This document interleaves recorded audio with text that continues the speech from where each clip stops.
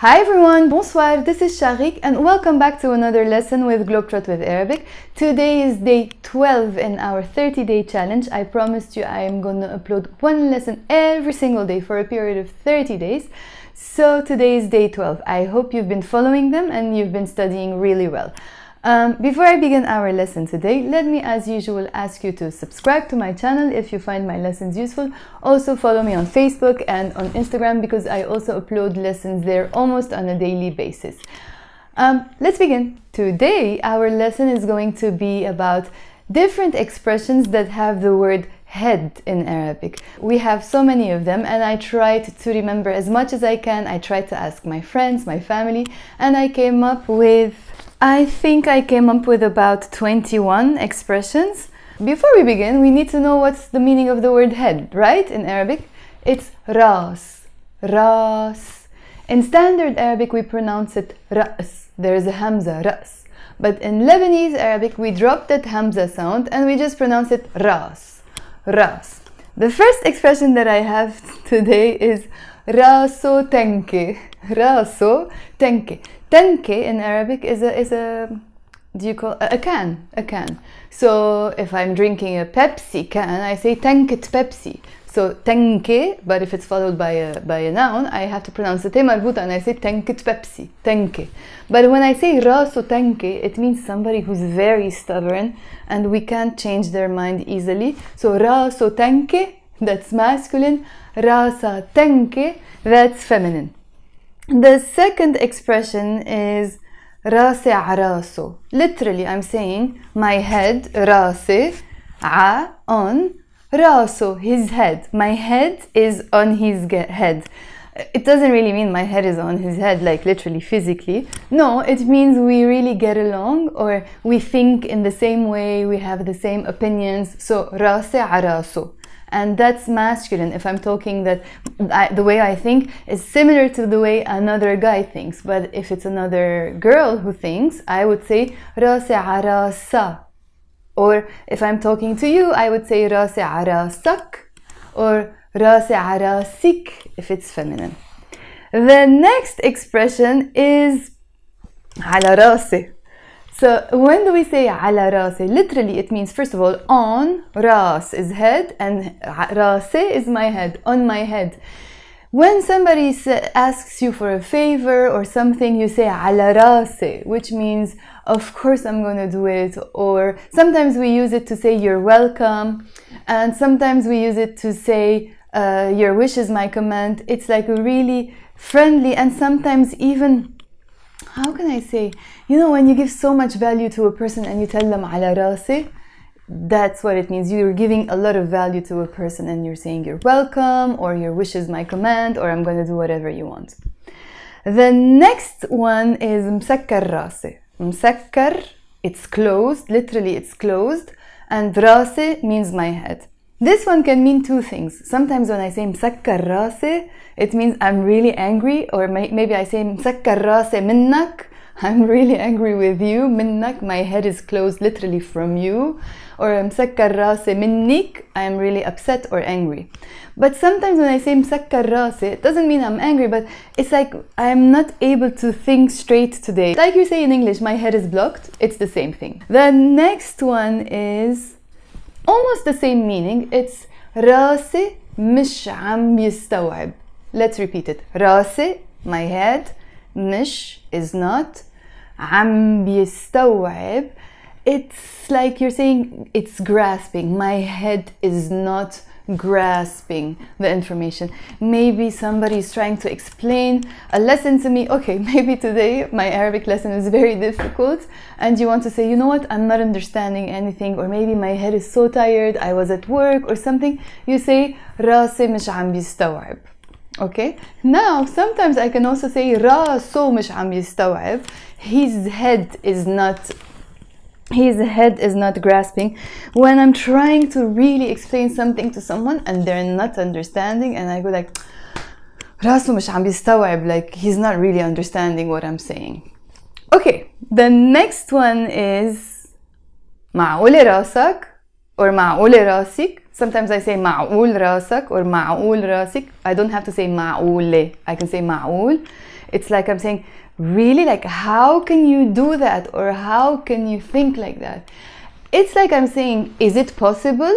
Your head, is your head possible? Like, how the hell can you do this? So معقولة راسك أو معقولة راسك Usually when you say this is like you're, you know, you're a bit angry at least or very angry sometimes or sometimes when you're joking with your friends as well like if somebody said something really funny you, you can say معقولة راسك Okay, the next one is بحطك عراسي literally بحط is I put or I place بحطك I put you that's masculine and if it's feminine it's بحطك عراسي on my head I put you on my head um, what does this mean? It means, for example, when you give so much importance and value to someone, and you know, you give them their place, you respect them. It also means like you're putting someone on a pedestal.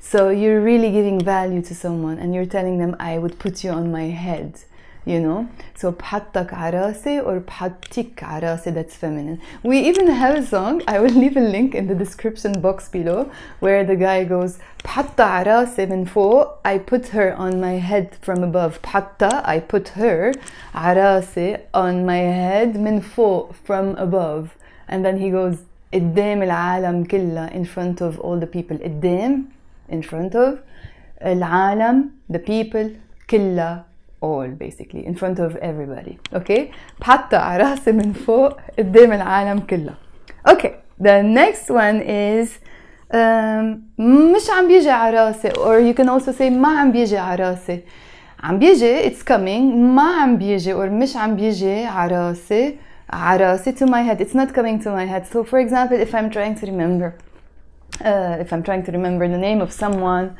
or something that happened and I'm not being able to remember, I can say It's not coming to my head basically. I can say sometimes to a person if I'm talking to him, I say That's masculine. Jit, you came. Arase on my head and jite, you feminine, arase uh, on my head. It's like I'm saying you came to my head. I say you came on my head in Arabic, but it's in fact we're saying you came to my head. It's like I thought of you or I thought about you.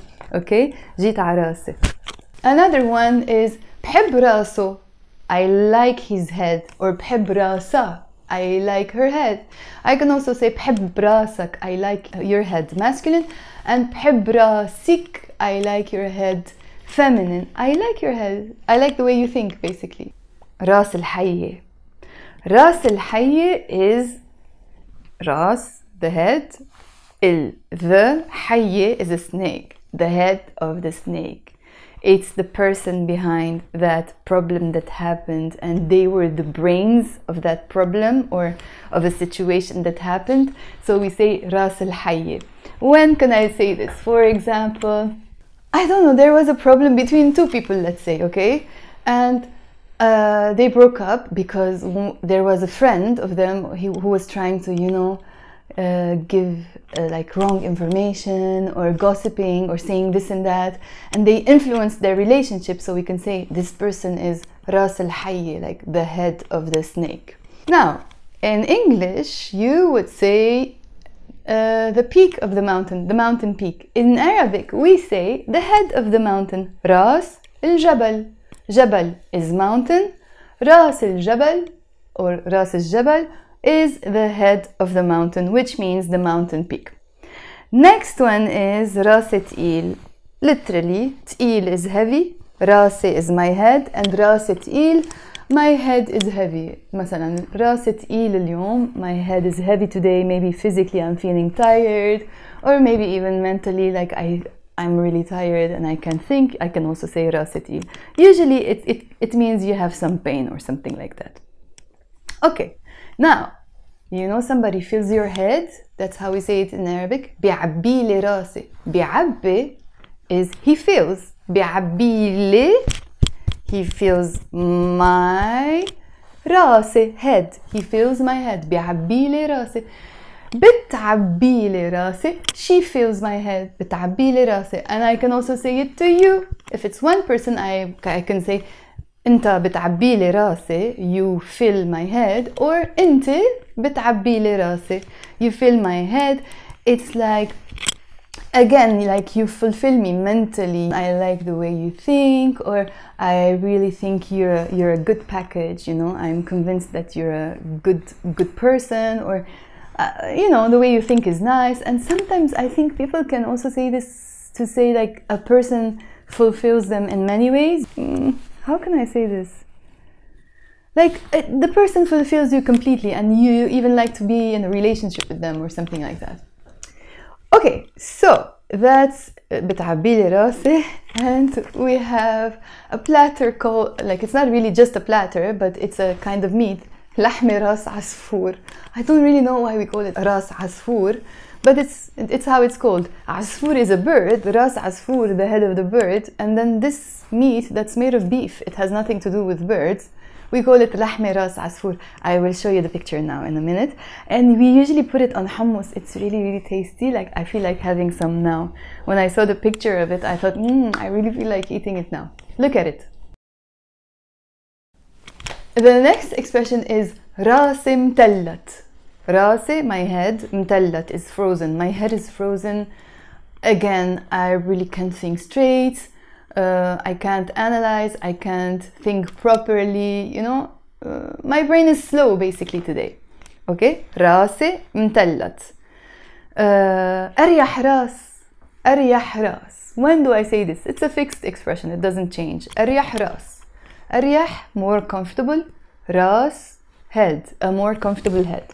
So, when can you say this? Um, it's a way to say uh, it's better you know it's better it didn't happen it's okay it's better maybe something was going to happen which was nice but at the same time it was going to be maybe a bit problematic or tiring or something like that you say أريح راس because it didn't happen for example maybe I invited a lot of friends and we were going to have a big lunch or something like that and it's fun it's nice but at the same time it's a bit tiring because I'm gonna prepare so many things and all of that. And then my friends call me and say, you know what, we won't be able to make it because you know we have something and whatever.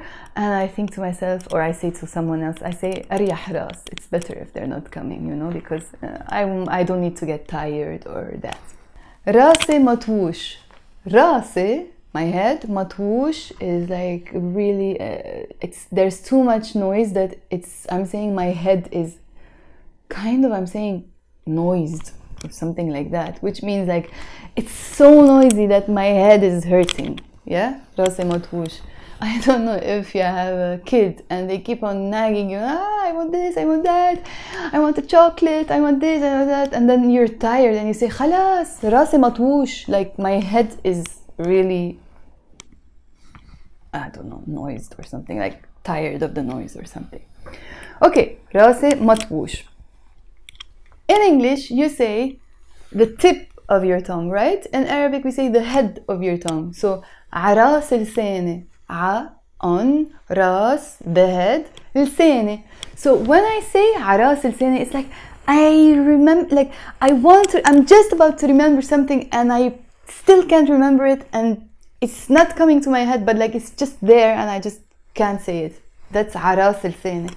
So, for example, if I'm trying to remember the name of someone and I'm saying, what was his name? What was his name? And like it's there, I remember it and I don't, that's aras al It's at the tip of my tongue. Okay? Uh, tej rasak or tej raskun. This is really something. um, it's sad, but it's funny at the same time. I don't even know how to explain this in Lebanon. It's Okay, first of all, let, let me explain, explain what it means. Tej is a crown. Rasak of your head, literally the crown of your head or the crown over your head. And it's if it's feminine, I say tej rasik, and if it's plural, I say tej raskun. It's like I'm saying this person is the crown of your head, and you can't even say anything bad about them. Usually, unfortunately, in Lebanon, this is the case when it comes to politicians. Every mm, uh, like uh, every group of people believes that their politician is the best, and when somebody else says something negative about this particular politician, the Lebanese person goes "Tej rasak." okay especially now with the revolution and everything that's going on different people have different opinions and every person who likes a person a particular leader they go like this ex leader is tej rasak or tej rasik or tej raskon in the plural like you know you can't even talk about them they're much hundred times better than you or than your leader basically okay uh, بدي كسر لك راسك بدي I want to كسر لك break for you which means break your in this case راسك your head and if I'm talking to a girl I will say بدي كسر لك راسك okay this expression has two meanings if your mom tells you بدي كسر لك راسك and they go like that بدي كسر لك راسك it means like you are in trouble and they're gonna beat you up or something you know if, if, if you're a kid and your mom tells you بدي كسر لك راسك or just بدي كسرك sometimes I will break you بدي كسرك it means like you're in big trouble okay بدي كسر لك راسك or بدي كسر لك راسك now, this expression doesn't have to be always like physically beating someone up. No, it also means like you're in a competition with someone. I can say to, if I'm, for example, playing a game with someone, I'm playing taule, okay, with my dad's friends. Sometimes I do that. Taule is like, uh, I don't know what to call it in English, I forgot. I used to know. Um, that game where you throw the dice and you move the stones. Anyways, it's called taule. I'll show you in a picture now. Um, so basically, when I play with my dad's friends, and there's his best friend, I always play with him. I tell him, "بدي كسر لك راسك. I will break your head." It's a way to say like I'm gonna, I'm gonna win, and I'm gonna beat you. Basically, it's a, it's a fun way of saying that sometimes, you know, because you're having a competition or you have this competitive spirit, you know.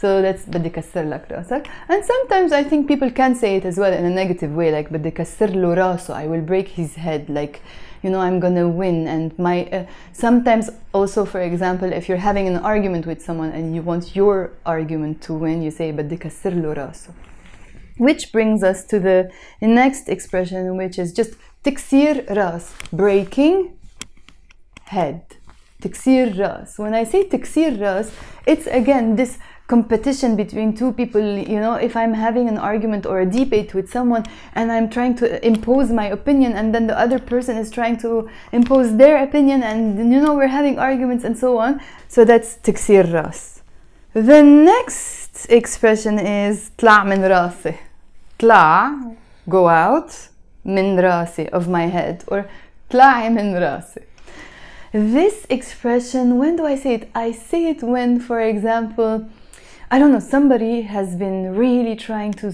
explain something to me over and over again and even nagging and repeating themselves really many times. I say, خلاص طلع من راسي, like stop it, like stop saying that anymore, you know?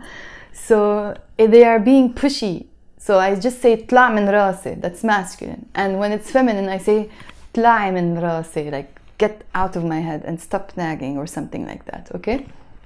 Now, I can use this expression in a different way when I say, for example, ما عم بقدر I am not able to ما عم بقدر طلعك or طلعك when it's feminine من راسي ما عم بقدر عم بقدر is I'm able to ما عم بقدر I'm not able to ما عم بقدر طلعك to take you out of من راسي of my head ما عم بقدر طلعك من راسي I'm unable to take you out of my head basically because I can I'm thinking of you so much and I really can't stop thinking of you okay so that's ما عم بقدر طلعك من راسي كسرت راسي I broke my head again it's not literally I broke my head no I broke my head in the sense that there was a problem that I was trying to solve and it was so difficult say I am in my math exam and there was this problem that was very difficult and I was trying to solve.